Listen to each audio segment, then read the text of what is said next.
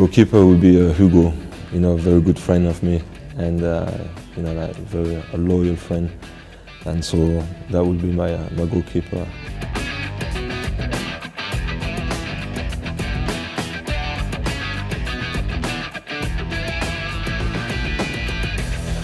And then I would take Yann M'Vila in midfield.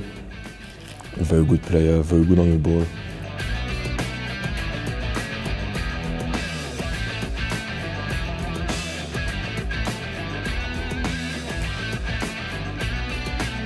Abou Diaby, yeah, Abou Diaby, because uh, same as Hugo is a loyal friend of me, and uh, you know he had uh, you know some bad injuries, but what a player he is.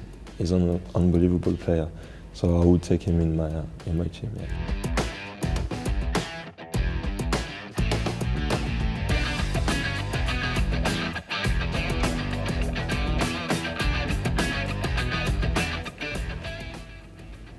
Thierry Henry as a striker, of course, because he can bang goals from anywhere.